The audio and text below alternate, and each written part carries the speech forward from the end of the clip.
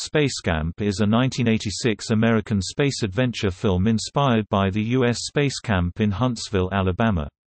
Directed by Harry Winer from a screenplay by Clifford Green as W. W. Wickett and Casey T. Mitchell, the film stars Kate Capshaw, Kelly Preston, Larry B. Scott, Lea Thompson, Tate Donovan, and Joaquin Phoenix credited as Leaf Phoenix.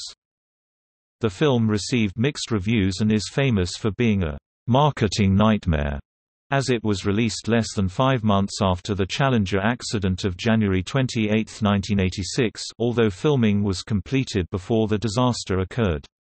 The film performed poorly at the box office, grossing less than $10 million in the U.S. The script was later adapted into a novel, which did include references to the Challenger explosion and some of the kids' decisions to attend space camp in the wake of said tragedy.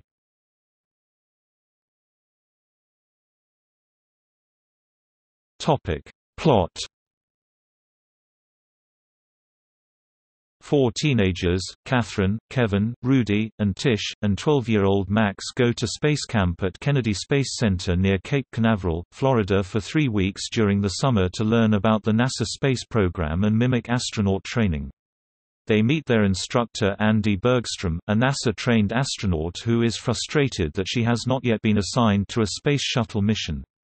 Her bitterness is compounded by the fact that her husband, camp director Zach Bergstrom, is an astronaut who has walked on the Moon.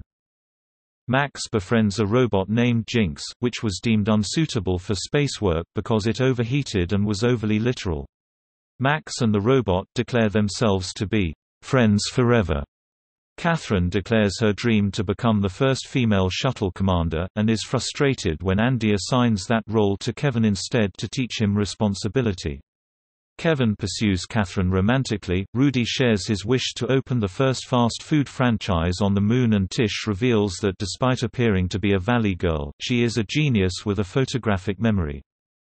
Catherine and Kevin sneak away for some romance near the launch pad, but Jinx unintentionally gives them away when Andy and Zach discover they are missing.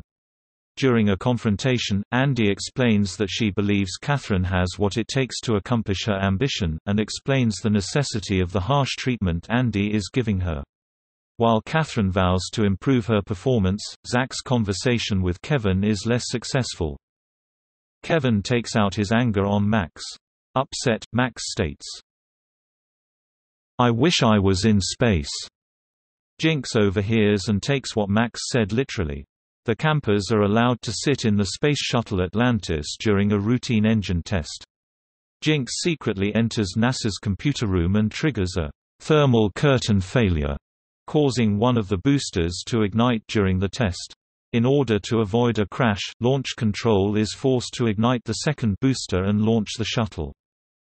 The shuttle is not flight-ready, has no long-range radio and insufficient on-board oxygen to last to the re-entry window at Edwards Air Force Base.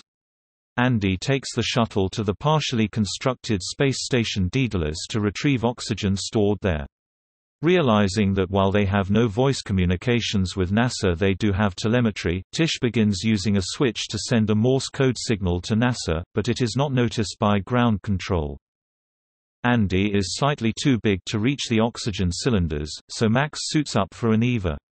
During a critical moment, Max begins to panic until Kevin, knowing that Max is a fan of Star Wars, begins calling him Luke and tells him to use the Force, which calms him enough to complete the mission, allowing Max and Andy to retrieve the containers.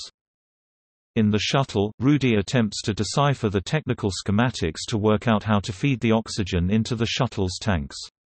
His lack of confidence combined with the time pressure frustrates Catherine, who tries reading the diagram herself and gives Andy instructions that conflict with Rudy's. Andy follows Rudy's correct instructions. Catherine's self-confidence is shaken as she realizes her interference nearly caused disaster. The second oxygen tank malfunctions, injuring Andy.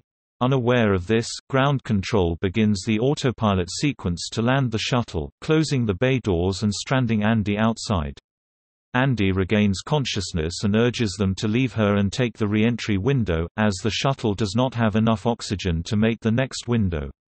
Catherine is unable to make a decision, but Kevin shows himself to be the shuttle commander and overrides the autopilot, enabling Max to rescue Andy.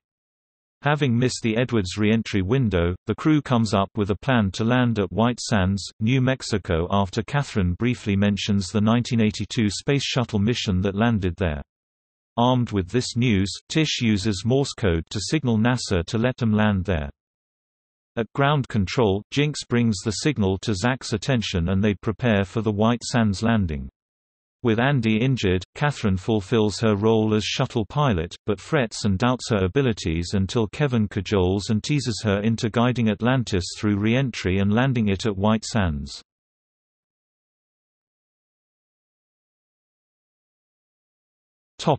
Cast Kate Capshaw as Andy Bergstrom, a camp instructor and astronaut. Tom Skerritt as Zach Bergstrom, the camp director, flown astronaut, and Andy's husband. Lea Thompson as Catherine Fairley, who idolizes Andy and wants to be the first female shuttle commander. However, she is assigned the pilot role. Tate Donovan as Kevin Donaldson.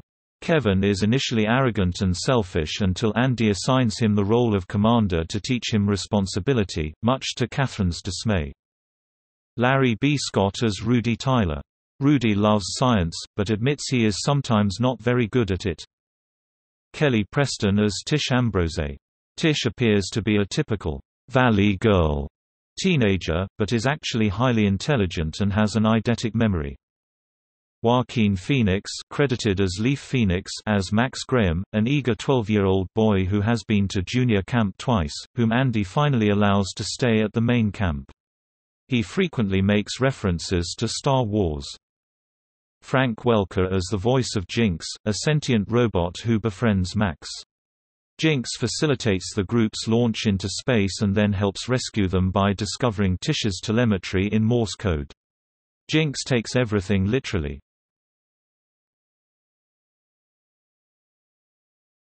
Topic: Production. Lea Thompson mentioned in an interview that after their first day of shooting, they were 10 days behind schedule and what was supposed to be a three-month shoot became six.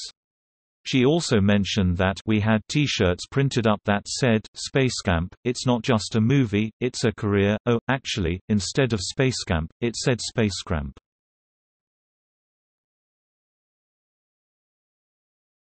Topic: Music.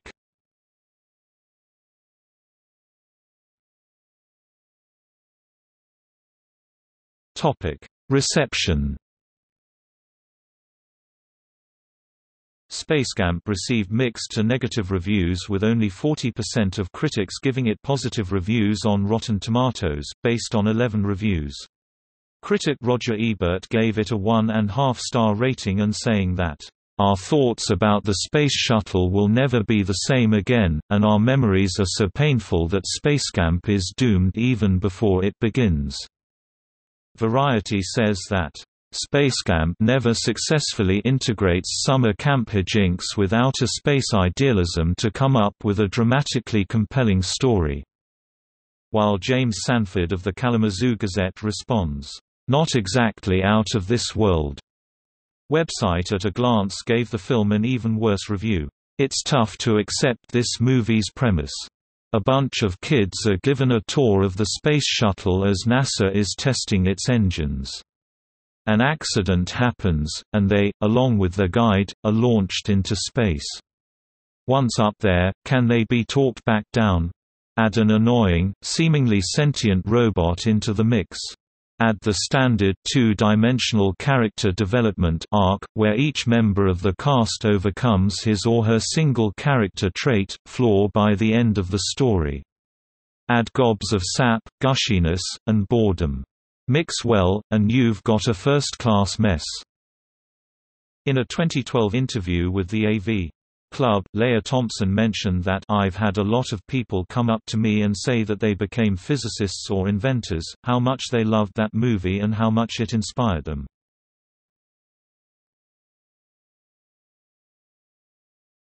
Topic: Release Spacecamp was released in theaters on June 6, 1986. It was released on DVD on September 25, 2001 and later re-released in 2006. On September 26, 2017, Kino Classics released the film on Blu-ray.